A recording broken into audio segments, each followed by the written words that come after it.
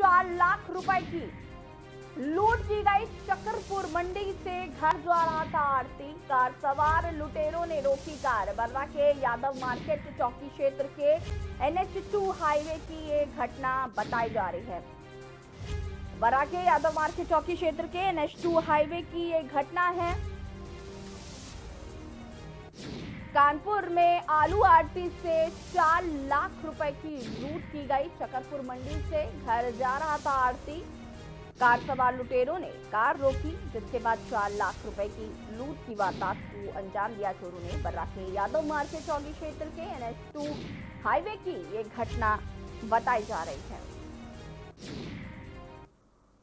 मैं उसका मालिक हूँ और मैं लगभग मैं आठ से सवा आठ बजे के आसपास मैंने गुजनी फ्लाईओवर को मैंने क्रॉस किया है दादरगढ़ वाले पुल को।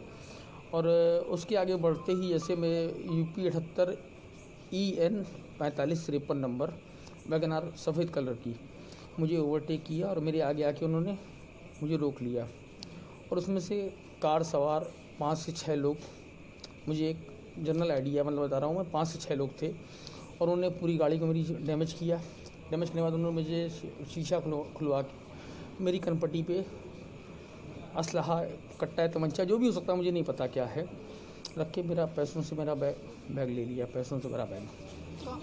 हमारे यहाँ एक कंप्लेंट आया है जिसमें इन्होंने कहा कि एक वैगनर गाड़ी से कुछ लोग आया है, करीब पाँच छः छः लोग, और इनको धमका के चार लाख की लूट हुई है।